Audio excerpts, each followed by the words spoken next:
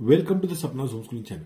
Dear friends, today we are going to solve question 2 from the practice set 41 from the lesson 10th lesson bank and simple interest मित्रांनो आज आपण seven स्टँडर्डचा tenth lesson bank आणि simple इंटरेस्टचा practice set forty one मधला question two solve करणार आहेत. Question two काय बघा इथे? If the interest on three thousand rupees is rupees six hundred okay at a certain rate for the certain number of years तर इथे दोन missing आहेत. रेट ऑफ इंटरेस्ट नाही माहिती आणि नंबर ऑफ इयर्स म्हणजे ड्युरेशन जे आहे टाइम आहे तो पण माहीत नाही. आपल्याला दोन मिसिंग आहेत.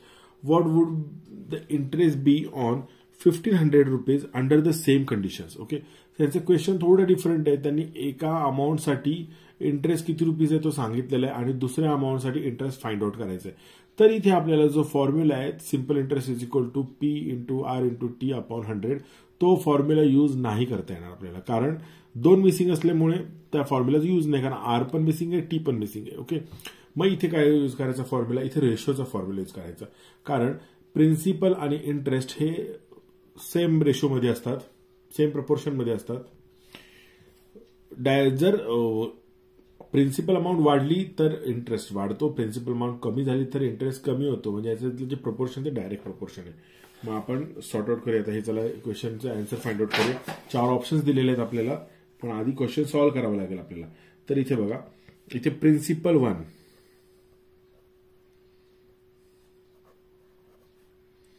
principal one okay आणि प्रिन्सिपल टू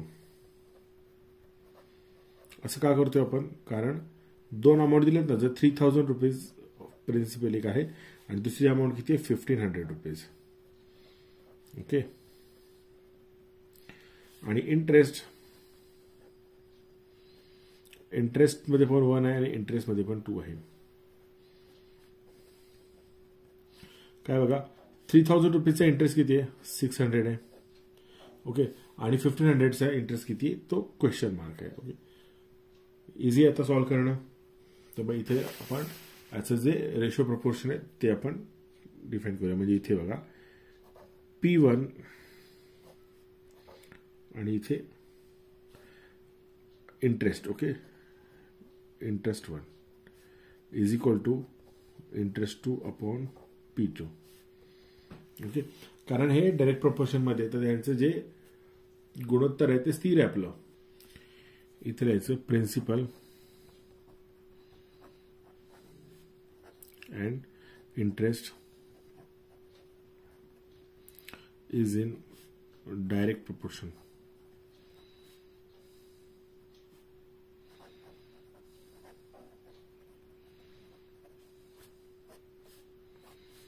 Okay मग सेकंड स्टेप इथे लिहू आपण काय लिहायचं?